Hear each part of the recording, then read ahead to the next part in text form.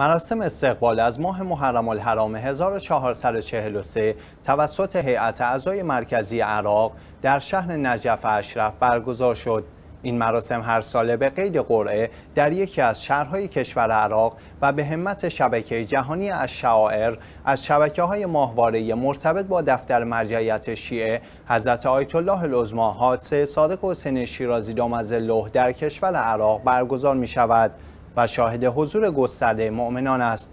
در این مراسم همچنین جمعی از های دینی، فرهنگی و اجتماعی، شاعران، مداهان، خادمان حسینی و نمایندگانی از دفاتر مراجع ازام تقلید حضور یافتند. طی این مراسم که شاهد سخنرانی دینی و اقامه عزاداری بود از جمعی از شاعران و مداهان و همچنین خادمان حسینی با اهدای نشان خدمت حسینی قدردانی شد